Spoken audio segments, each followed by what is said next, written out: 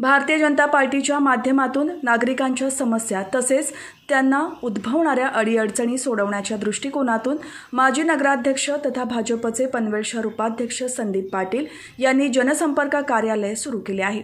नवीन Panvel sector सतरा येथे सुरू झालेल्या या जनसंपर्क कार्यालयाचे उद्घाटन पनवेल महापालिकेचे माजी सभागृह नेते परेश ठाकूर यांच्या हस्ते गुरुवारी उद्घाटन झाले. यावेळी त्यांनी हे जनसंपर्क कार्यालय नागरिकांच्या समस्या सोडवण्याचे केंद्र बनेल असा विश्वास व्यक्त करत संदीप पाटील यांचे अभिनंदन केले. यावेळी माजी नगरसेवक अनिल भगत समीर ठाकूर अजय कानपिळे भाजप नेते ॲडव्होकेट जितेंद्र वाघमारे निकिता जगदीश खरत बोकडविराच्या माजी सरपंच मानसी पाटील काका भगत यांच्यासह पदाधिकारी कार्यकर्ते आणि मान्यवर उपस्थित होते.